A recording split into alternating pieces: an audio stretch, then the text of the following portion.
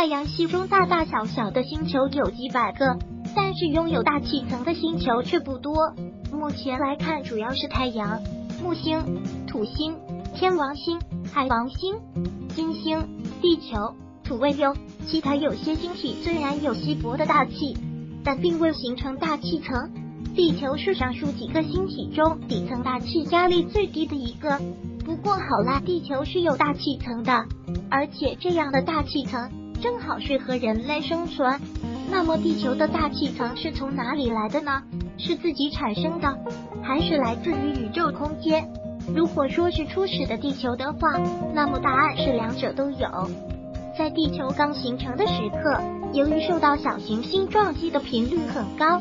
地球内部的熔岩活动也非常剧烈，因此地球上的一些物质会产生化学反应，从而生成一些气体，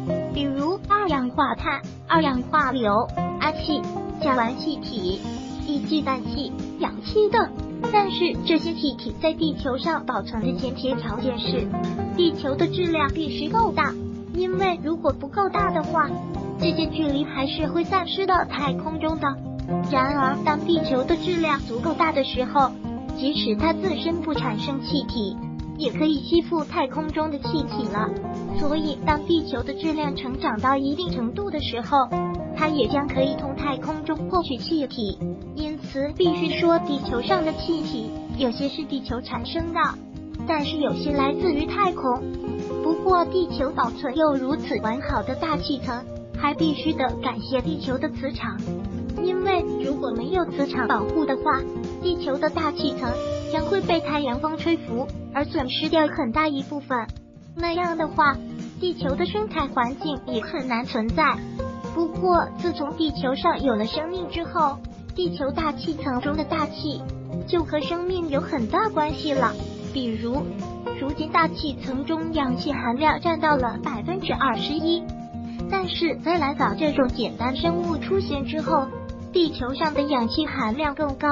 一度接近百分之四十，因为它可以进行光合作用，吸收二氧化碳而释放氧气。如今地球上的氧气也大部分是由绿色植物制造的，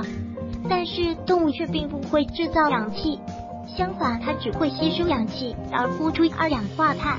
所以地球上的部分二氧化碳是由动物创造的。而当我们人类进入工业时代后，通过各种手段向地球大气层中排放着二氧化硫、二氧化碳、氧化碳等气体，人类制造的气体总量已经远超其他动物，而这些气体对地球的生态环境都是很不利的。如果二氧化碳在大量增多的话，很可能会造成地球的温室效应，导致地球环境出现生态灾难。所以，地球大气空间的环境保护工作也是人类的长远发展大计，需要我们重视起来呀！如果喜欢本视频，